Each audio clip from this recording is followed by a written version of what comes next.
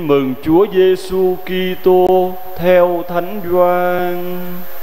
Lạy Chúa, Vinh danh Chúa.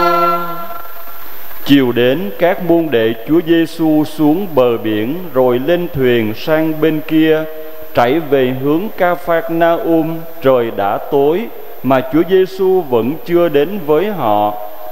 Bỗng cuồng phong thổi lên, biển động mạnh. Khi chèo đi được chừng 25 hay 30 dặm, Thì họ thấy Chúa Giêsu đi trên mặt biển, Tiến lại gần thuyền.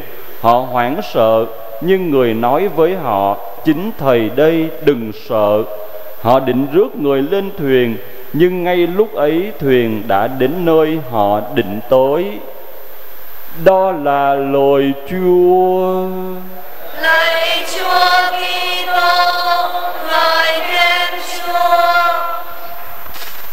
Anh chị em, ngày hôm qua thì bài tin mừng cho chúng ta biết là Chúa Giêsu làm phép lạ hóa bánh ra nhiều để nuôi đám đông dân chúng đi theo nghe Chúa Giêsu giảng dạy. Thế rồi kết thúc bài tin mừng, Thánh Doan cho biết là Chúa Giêsu trốn những người mà Chúa vừa mới cho họ ăn. Người sợ họ tôn người lên làm vua, cho nên người trốn họ. Và hôm nay bài tin mừng nối tiếp bài tin mừng hôm qua, khi mà các thánh tông đồ đã ra khơi trên biển hồ Tiberia. Tiểu biển hồ Tiberia còn có tên gọi là biển hồ Galilea, bởi vì cái biển hồ này nó nằm trong vùng Galilea. Nó chỉ là một biển hồ, nhưng anh chị em thấy có những lúc mà sóng gió nổi lên dữ dội làm cho đã bao nhiêu lần vì phải chống cự lại, vì phải rơi vào cảnh biển động, sóng gió dữ dội mà các tông đồ đã có nhiều lần hoảng sợ. Cho nên là lần này, khi các tông đồ đã ra khơi, đã lên đên trên biển mà bây giờ cũng lại là tối rồi. Không thấy Chúa Giêsu đâu, người trốn và người đã đi đâu không biết. Đến lúc mà các tông đồ đang trông mong, thì Chúa Giêsu lại đang đi trên mặt biển đến với họ. Và giữa lúc tâm tối như vậy, họ sợ hãi coi đó là ma, sợ hãi đó là ma. Thế nhưng Chúa Giêsu lên tiếng an ủi, chính thầy đây, đừng sợ. Và họ, khi nghe lời Chúa nói như vậy, họ được trấn an các thánh tông đồ có ý muốn rước Chúa lên thuyền thì ngay lập tức Chúa đã tới thuyền rồi. Và thầy trò đi tới nơi, tức là chèo thuyền đi tới nơi mà các ngài định tới. Có điều quan trọng ở đây, tôi thấy trong bài tin mừng có hai điều. Thứ nhất, đó là trong mong Chúa, chờ đợi Chúa đến với mình. Khi Chúa đến thì lại không nhận ra, lại cho là ma và nhiều lần như vậy chứ không phải chỉ một lần trong tin mừng. Chúa, Chúa đến với các tông đồ và các tông đồ lại không nhận ra. Sau khi phục sinh cũng vậy Chúa gặp họ nhiều lần họ không nhận ra. Trong khi đó lòng họ mong mỏi lòng họ trông chờ Chúa. Mãi khi Chúa lên tiếng thì họ mới nhận ra. Chẳng hạn như thánh nữ Maria Magdalena đi ra mồ từ sáng sớm của ngày lễ phục sinh thấy Chúa Giêsu, bà lại tưởng là một người làm vườn. Hai môn đệ trên làng em mau đi dọc đường với Chúa được Chúa giảng dạy đủ thứ, mãi cho đến cuối hành trình thì mới nhận ra Chúa Chúa lại biến mất. Rồi 11 tông đồ đang tụ họp, Chúa hiện ra. Các ông lại nghĩ là ma, cho nên không không thấy được Chúa. Đến lúc Chúa đưa tay cho xem, Chúa đưa ngực cho xem những vết thương tích của người, thì nhận ra Chúa và nhận lãnh bình an của Chúa.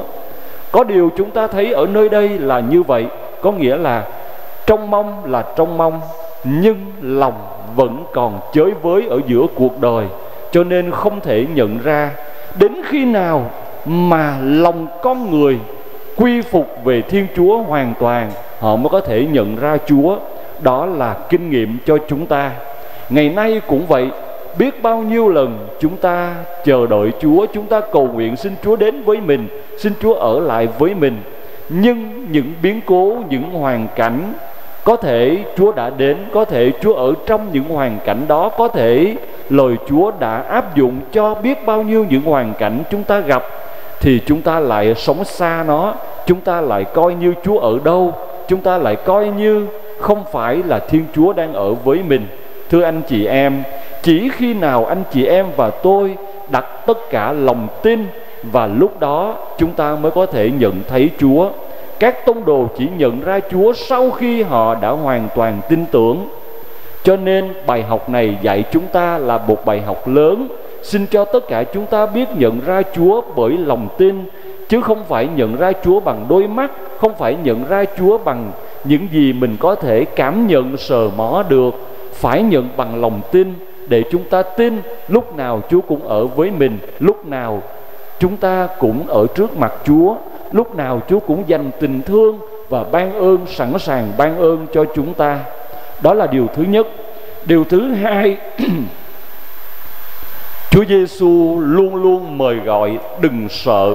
Hôm nay cũng vậy đi trong đêm tối đến với các tông đồ, các ông lại cho là ma, các ông hoảng sợ, thì Chúa lại an ủi, thầy đây đừng sợ.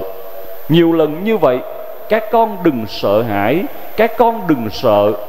Hoặc Chúa Giêsu hiện ra khi người đã phục sinh, các tông đồ sợ hãi, Chúa vẫn bảo các con đừng sợ. Khi các ông đóng kín cửa nhà vì sợ người Do Thái Chúa hiện ra với các ông, Chúa vẫn bảo, đừng sợ. Rồi trước ngày Chúa thụ nạn, Tất cả các tông đồ rơi vào những hoàn cảnh sao xuyến. Chúa lại căn dặn các ông, đừng sợ. Các con đừng sợ hãi. Tại sao lòng các con sao xuyến?